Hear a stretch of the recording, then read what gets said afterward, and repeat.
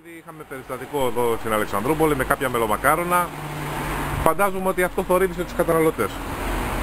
Ε, είναι λογικό, ε. τα έχουμε πει αρκετές φορές ότι ο καταναλωτής πρέπει να εμπιστεύεται το μικρόφωνο της γειτονιάς όπου τα μελομακάρονα βγαίνουν κάθε μέρα ή μέρα παραμέρα είναι φρέσκα ενώ από άλλα καταστήματα τα οποία πάει και προμηθεύεται δεν είναι μόνο η μούχλα που βρέθηκε δεν ξέρουν πότε έχουν παραχθεί, που έχουν παραχθεί, ενώ εδώ οι έλεγχοι γίνονται συνέχεια από τις αρμόδιες υπηρεσίες. Μια φορά έτυχε ο Εφέτας πούμε και πήγε σε μεγάλο πολυκατάστημα και βρήκε τα μελομακάρονα μουχιασμένα.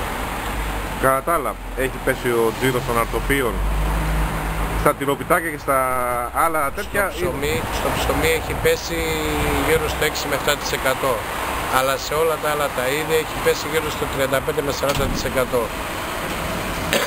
είναι λογικό. Αυτό τι σημαίνει, δεν πετάμε το ψωμί ή το παλιό ψωμί το κρατάμε, το τρώμε την άλλη μέρα; Το τρώμε την άλλη μέρα και καλά κάνουμε, γι' αυτό και πρέπει ο, και ο καταναλωτής να παίρνει από το φούρνο της γειτονιάς, για να, γιατί ξέρει ότι το ψωμί μπορεί να διατηρηθεί και την άλλη μέρα. Ενώ άμα πάει από άλλα σημεία μπορεί να είναι και χθεσινό, μπορεί να είναι και τριών ημερών, μπορεί να είναι και τεσσάρων ημερών. Με τις αγωγές ψωμίου γίνεται κανένας έλεγχος.